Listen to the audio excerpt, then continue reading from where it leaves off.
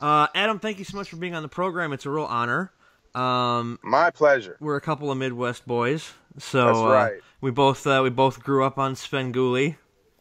My hero. I I- when I saw him in Wadzilla, I was like, "Oh shit, that's Rich Koz." That's right. The Uh, great Rich Koz. So I fully expect you to be the one that directs his uh, uh, his uh, biopic. That's actually a great idea. And when I do, I will give you a big thank you. Thank uh, that's all I ask. Um, so now I just saw director's cut last night, and uh, I'm I'm going to be doing a review of it later. But Whoops. Uh oh. Hold on. I dropped my phone. I dropped my phone. This is what you get when you do live TV, folks. Sorry. All right. okay, so I'm I watched it last night, and I'm going to be doing a review of it soon. But the thing about it is, is it's I almost and this is a good thing. I almost think it's unreviewable because you can't you can't review it without spoiling everything. Well, I take that as a uh, as a compliment. Thank you for saying that. Um, we wanted to make a movie that was different than a movie that most people have seen. So if if you find yourself uh, at a loss for how to how to review it without giving everything away, then I think we did some semblance of our job. I I mean it, it, it, it breaks down all the barriers of, of filmmaking in general. Um, it just kind of and it, and it, people who don't who think they know about making movies when they watch this they're gonna be like oh oh oh okay yeah that makes sense. Um, now this was filmed a long time ago. Like, well, I mean, considerably speaking, it's like what September of 2014. We shot it then, and it premiered. Uh, it opened the 2016 Slamdance Film Festival. Now since then, Penn has lost a considerable amount of weight. Yeah, When he Yeah, about- when he goes back and watches me. this. about me, um, my, me's worth of weight he's lost.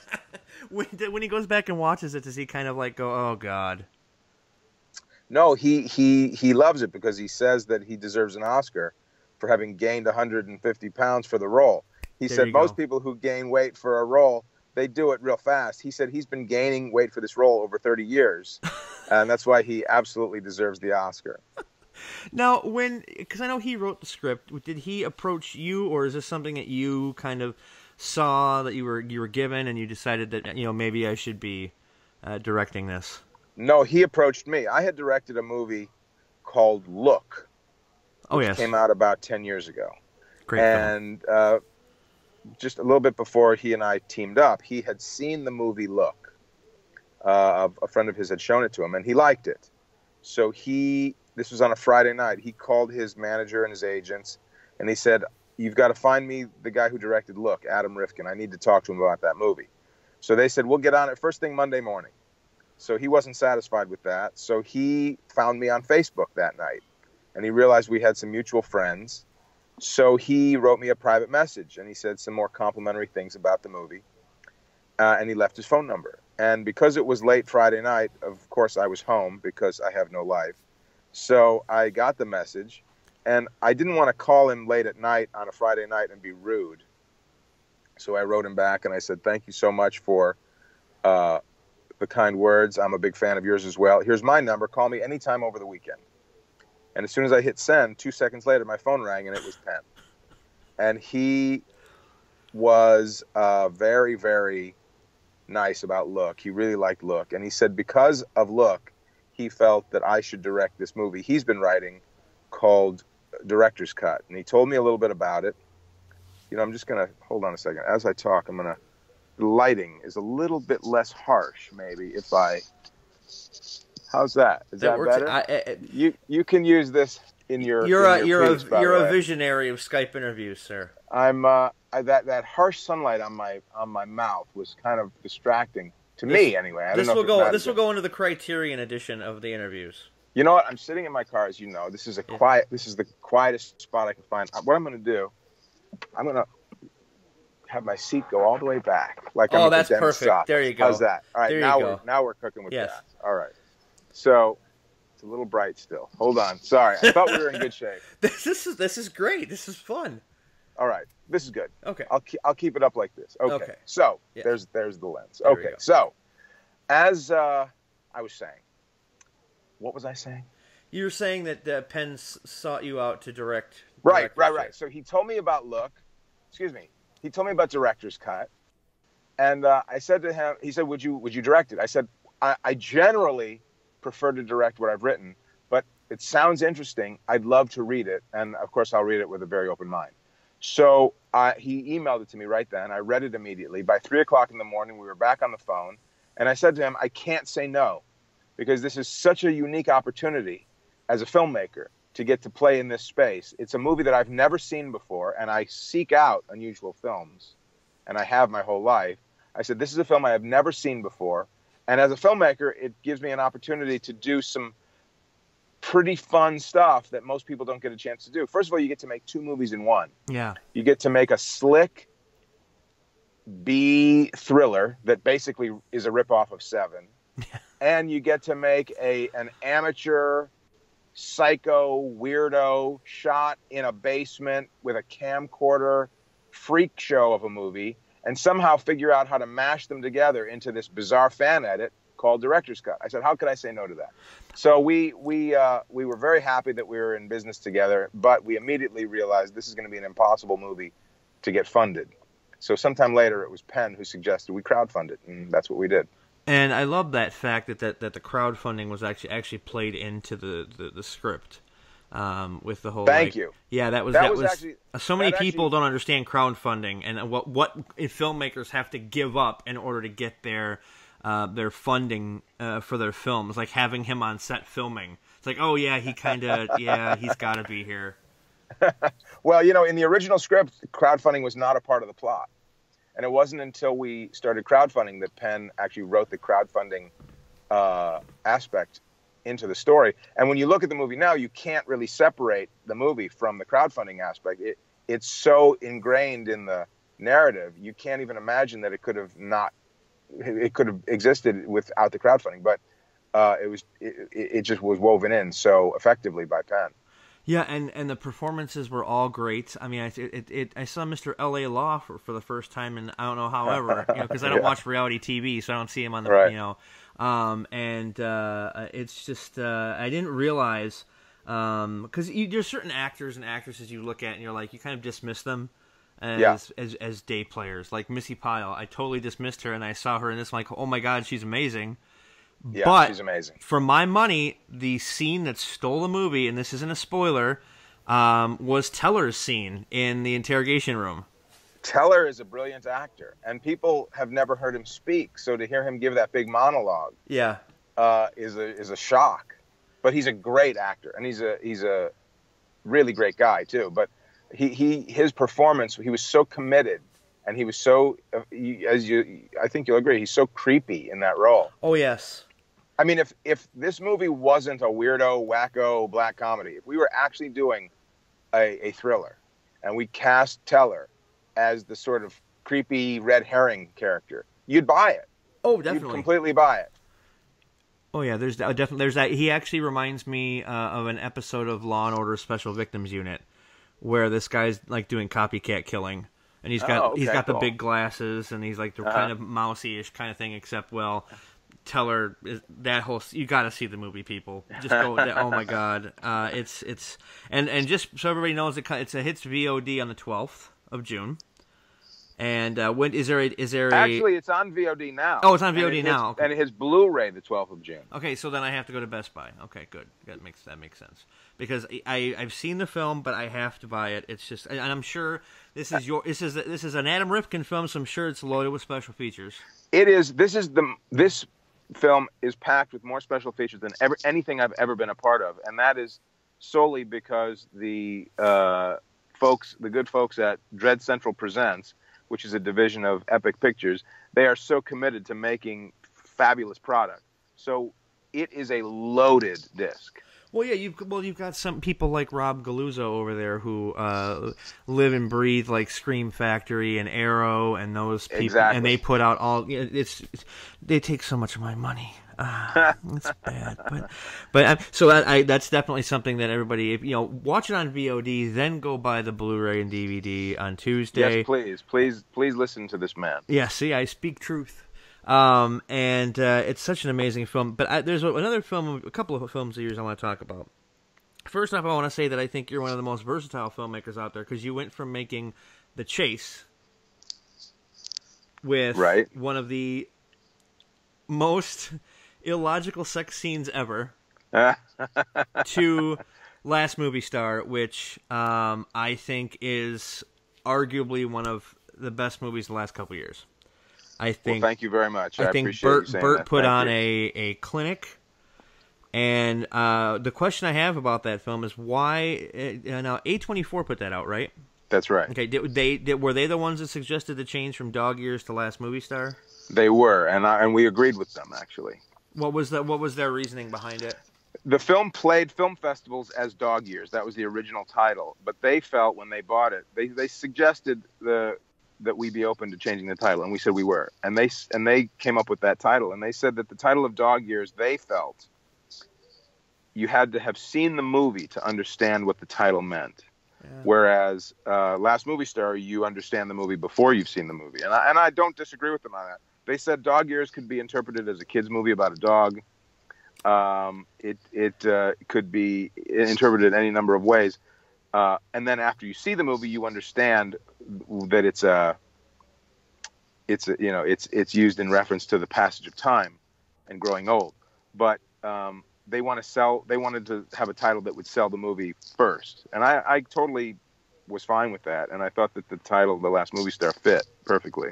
Uh, now, uh, there, I remember hearing a story. I think you were on, I think you were on Shockwaves, and you were talking. I about- was. and you were talking about getting Burt uh, uh, to be part of the picture. Now, what was the process with that? Because I know, if I remember correctly, you said you couldn't do this picture without him.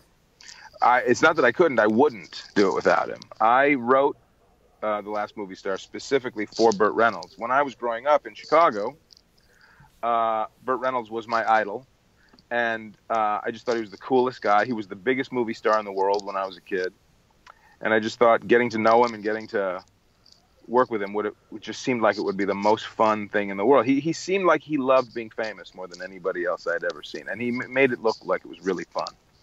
Uh, so anyway, years later, I thought to myself, you know, I still love Burt Reynolds. I still think he's got it, even though he's not being given all the opportunities I think he deserves at this juncture. Right. So I said, I'm going to write Burt Reynolds a role that I, I hope he can't resist because I want to work with Burt Reynolds and I want to give him a role that reminds everybody what a great actor he is. Because I always felt too he got short short changed as an actor because his movie star persona was so larger than life.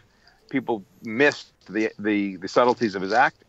So I wrote this movie about this old man who used to be a famous movie star, but now is, you know, uh, realizing his glory days are in his rearview mirror and has to sort of deal with that. And, and I sent it to his manager, and I said, please. I'd never met Burt Reynolds, but I said, please tell Burt that if he doesn't want to do this movie, I'm not making it. I wrote it only for Burt, and if Burt doesn't want to be a part of it, I'm not going to be a part of it. So he said, uh, "Well, I mean, I'll send it to him, but I can't promise you what Burt will say. I mean, Burt does what Burt does." so he sent it to Burt, and I will tell you, the next day, Burt Reynolds called me. Oh, see, that's phone. awesome. That's awesome. Yeah, and I never get starstruck. I've worked with famous people before, and I've known famous people before, and you know, big deal. But when when I recognized Burt Reynolds' voice on the phone, I completely digressed to the 11 year old that first saw Smokey and the Bandit and was doing backflips in my brain. I mean, I couldn't believe it was actually him, and he said that he uh, loved the script and that he was in, and that was a That's great ama- moment. That's that's amazing. Um, now, when it comes to like things like Last Movie Star and The Chase and Director's Cut and Wadzilla, um, you've also it, this is where I think you're probably one of the most versatile people in the business because you also did Mouse Hunt. You wrote Mouse Hunt Yeah. and Underdog. Yes. And now, what what kind of like how, did you how do you have to change your mindset at all to work between the two different kinds of? Well, of- I'll you know tell I you mean? this. I like all kinds of stories. I like storytelling. That's why I like movies. I like big movies and small movies and kid movies and grown up movies and scary movies and funny movies. I like telling all kinds of stories. Now, pursuing a movie career in Hollywood, a, a movie making career in Hollywood is is hard. Pursuing a movie making career in Hollywood when you want to tell all different kinds of stories makes it even harder. It has definitely hurt my career to be versatile, as they say. Um, if you do one thing and do it well and people know you as that brand, if you're the comedy guy or you're the gangster movie guy or you're the horror movie guy, it is much easier to succeed in Hollywood because the people who hire people, they know what to expect from you, and they know that they're going to get their money's worth. If we're going to give this comedy guy, you know, we we want to make a comedy, let's give it to this guy who we know who does comedies well. Right. So the fact that I'm all over the map has definitely m- not made it easy on myself. But I can't help it. I can't do it any other way. Right. No, I totally, I totally get that. I've made uh, a bunch of like horror shorts and stuff, and Uh-huh. I, I just, I, I, I have other st- stories that I want to tell, but I feel like because there's been a lot of press around the stuff that I've done in the horror world, it would be hard to kind of be like, oh, well, he's Right. doing, he's doing a comedy. What? what do you- Right, you right, know? right. Although I think horror and comedy kind of have, uh, uh, uh, um, you know, they they give people the same reactions in a different, true. different ways. It's true. You know, so I don't see why people get so weird about that. But I never understood it either. Some of my favorite filmmakers are very versatile filmmakers. I mean, John Huston, very versatile filmmaker. Billy Wilder, a very versatile filmmaker. You know, uh, uh, lots of others. Uh, these are the guys that I, I admire all the filmmakers who've made all the movies that I love. You know, there are plenty of filmmakers who do one thing, do it well, and they're they're gods to me. You know, but it's not like there isn't space for versatile filmmakers in Hollywood. It just makes it harder. right, right, right. Well, it's like with Romero. He makes Night of the Living Dead, and then immediately he's pegged as a horror guy, and then he tries Yeah. to make something like There's Always Vanilla. And they're like, what? What's this? What? Yeah, no, yeah. uh-uh, no. Well, Wes Craven, when he was alive, used to talk about that a lot. That he was pegged as a horror guy only, and every time he would try to move outside of the horror genre, he was not met with open arms. You know, oh, you mean like Swamp Thing? I was thinking more the the the the Meryl Streep movie. I forget the name of it. Uh, we'll go with Swamp Thing. I just, Okay. I, I just, uh, I, I, I can't, I can't see that as a horror picture. It's Swamp Thing? No, yeah, it's not. It's no. Um, but uh, that was pretty. But it's still, yeah. but it's still a genre picture. very true. So, so it fits still in with, in terms of the powers that be. It yeah. still fits in with why they let him do it. You know yeah, I mean? makes sense. Does make sense. Um, now you, uh, we we talked about uh, uh, Svengoolie before we started recording. Uh, Yes, I'm, love Svengoolie. I'm in Racine, Wisconsin. You're from Chicago, so we Yeah. both get you know uh, WFLD. Yes. Um, Now, growing up, how much of an influence was he on you? huge influence. Svengoolie, for people who don't know, is the last horror show host out there working today. When when uh, television was young and all the way through the 70s and into the early 80s, uh, all the local, tel- you know, in, in the glory days of local television, which doesn't really seem to exist much anymore, uh, all the local markets had a local horror show host.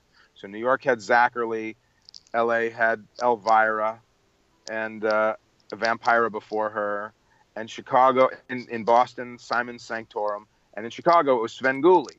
And so basically the idea is they'd show a horror movie on Saturday night or whenever it's scheduled, and do an intro, and then in between the commercial breaks, do funny shtick and trivia about the movie and stuff like that. And I grew up loving Svengoolie. I still do. I, you know, he's coast to coast now. oh yeah, I, used to- I watch him. I try to watch him every week. Me too. So um, it was Svengoolie. Not only was he very influential to me on uh, in the field of comedy writing because he's a really funny comedy writer and he does all his own writing himself. Uh, but the movies that I saw watching Svengoolie, I saw all the Universal monster movies. I saw all the Hammer horror films. I saw all the AIP drive-in films. I saw all the Japanese giant monster movies. I saw everything on Svengoolie. So I got more of a movie education from Svengoolie than any other single source. So huge influence. That's the thing about him though is like when he um, first showed up as son of Svengoolie, and then he was showing he was showing actual like normal horror films like Universal Hammer, all that kind Yeah. of stuff. Yeah. Then he gets um, I, I I like to say he went on a hiatus. I don't like to say he got canceled. Um, right, right. but he went on his hiatus. Then when he came back at WCIU, he started doing like more like, oh well, here's like he did the people under the stairs and stuff like that. It's like, Right, oh yeah. shit, okay. But now that he's on Yeah. Me TV, it seems to be exclusively like you know uh, stuff that you can sit down with your family uh, and watch, which is fine Yeah, because his sure. because the, the the community on Twitter during his perform during his show is is ridiculous, and you meet so many cool people. And Oh. I'm a, I'm a I'm a big like do everything myself type person. Yeah. And watching him and realizing he wrote all this stuff and he had sit down and find out, and it, it just such it's such a huge thing, and it's great to also see that you and he are both from the Midwest, and that just proves to people that you don't have to be from California or, or New York or anything like that to make it in in the It's business. It's 100% true. And, uh, you know, it, it, as I uh, have become a, a filmmaker, I've, I've gotten to be friendly with Rich, and he's a great guy, just like I always hoped he'd be. And uh, you you also cast now. he's kind of got a in, in a weird way. He's kind of got a family friendly vibe to him. Sure. Um, what was his reaction when you offered him the part in Wa- a movie called Wadzilla? he was totally great. I mean, I said I, I sent him the script. Mhm. I said I needed a newscaster who was announcing that a giant sperm was attacking the city uh, in the same style as like a 1950s B sci-fi, you know, you know, giant monster attacking Right. New York kind of movie. And I said, so I said the movie is uh, a giant sperm is attacking a giant sperm cell is attacking New York. Here's the basic script of what the newscaster says, but I need you to inject into it those great Svengoolie puns that you do so well. And he just completely embraced it and gave me all these hilarious puns that were applicable to the subject. And uh, they were very all very double entendre esque. They were hilarious. They're in the movie. So definitely pick up a copy of Chillerama if you haven't. For for Wadzilla alone, that movie is just oh. and you were you were great in it, sir. Thank you, thank you, That- that thank was, you. uh, I, I do not consider myself an actor, but I will occasionally ham it up, and uh, that is one where I definitely hammed it up. and it was and it was amazing. That was that was a big sperm. That was huge. Um, so now you let's get back to a director's cut is going to be on Blu-ray and DVD. Uh, is it going to be at all box stores, or is it just going to be kind of uh? I don't know what the distribution plan is in terms of what stores it's going to be available in. I know that um, you can currently pre-order it right now on the Epic Pictures website, Okay. uh, and I know that it will be available in stores. I just don't know which ones. Uh, or you'll be able to get it online, you know, on Amazon and stuff too. Right. So check your check websites, people. Google is your friend, or you can get it right now on VOD, and I suggest doing that and getting the DVD in the Blu-ray.